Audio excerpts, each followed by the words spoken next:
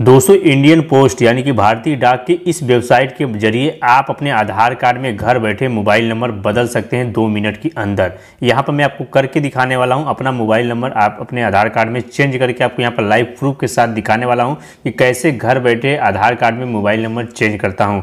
और आपको ना ही कोई अपॉइंटमेंट लेना है, ना ही कोई पैसा देना है, ना ही आपको कहीं जाना और ये सरकारी मतलब ये सरकारी वेबसाइट है ये नहीं ऐसा नहीं कि कहीं थर्ड पार्टी वेबसाइट नहीं है। तो इस वेबसाइट का लिंक मैं आपको यहाँ पर नीचे डिस्क्रिप्शन में दे देता हूँ। आप जो वीडियो अभी देख रहे हैं, उसके टाइटल पर अगर आप क्लिक करेंगे तो नीचे लिंक मिल जाएगा।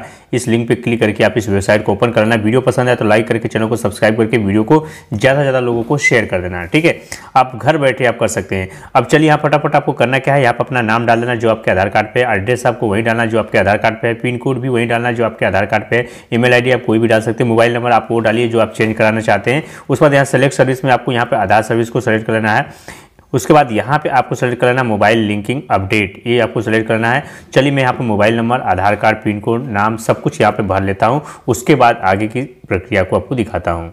जैसा कि दोस्तों देख सकते हैं, मैंने सारा डिटेल यहाँ पर डाल दिया। अब यहाँ पर मैं रिक्वेस्ट ओ पे क्लिक करता हूँ। अब जैसे ही मैं रिक्वेस्ट ओटीपी क्लिक करूँगा तो मेरे मोबाइल पर ओ आएगा। यहाँ देखिए ओ इस नंबर पर ही आएगा। यहाँ पर थोड़ा सा वेट करते देखिए, यहाँ पर दोस्तों ओटीपी आ चुका है। तो यहाँ पे ओ जो है, आप यहाँ पर देख सकते हैं पाँच सौ चौहत्तर नौ सौ बीस, पाँच सौ चौहत्तर नौ सौ बीस। यहाँ पर देखिए, पाँच सौ चौहत्तर, नौ सौ बीस। यहाँ पर डाल दिया। अब यहाँ पर कन्फर्म सर्विस तो कन्फर्म सर्विस रिक्वेस्ट पे क्लिक करने के बाद अब आपको करना क्या है? अब आपको कन्फर्म रिक्वेस्ट क्लिक करने के बाद आपको अपना एप्लीकेशन को यहाँ से ट्रैक करना है।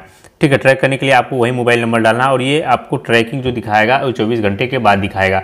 उसके 24 घंटे के अंदर ही आपके घर पे कोई सर्विस पर्सन आएगा इंडिया पोस्ट की तरफ़ से जो आपके आधार कार्ड को लेगा, आपका वेरिफिकेशन करेगा, उसके बाद आपके आधार कार्ड में मोबाइल नंबर लिंक कर देगा, आपका नाम वगैरह फार्मर भरवाएगा साइन वगैरह कराएगा और आपका स्कैन वगैरह करेगा।